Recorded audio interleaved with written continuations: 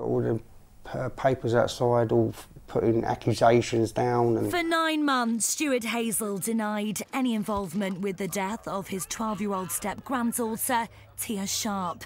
But in a dramatic turn of events, on the fifth day of his trial for her murder, Hazell changed his plea to guilty. This is the interview the 37 year old gave ITV News days before Tia's body was discovered in the loft of the house he shared with her grandmother. Do you feel that, that perhaps the, the people are looking at you? well, if they believe what they read in the papers, they can do whatever they like. Because I know deep down in my heart that Tia walked out of my house.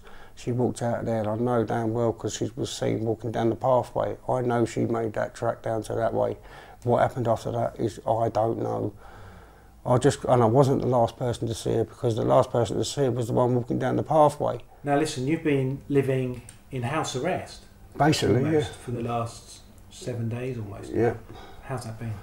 Oh, it's been horrible. It's been horrible. Do you know what I mean? It, the family's we're stuck inside here. Do you know what I mean? We've got all the uh, papers outside, all putting accusations down, and do you know what I mean? Bad mouthing everyone, and it's just what you don't need. You know? I, know they're trying to help and that, but they can help in other ways. You know what I mean? By finding her back, get her home.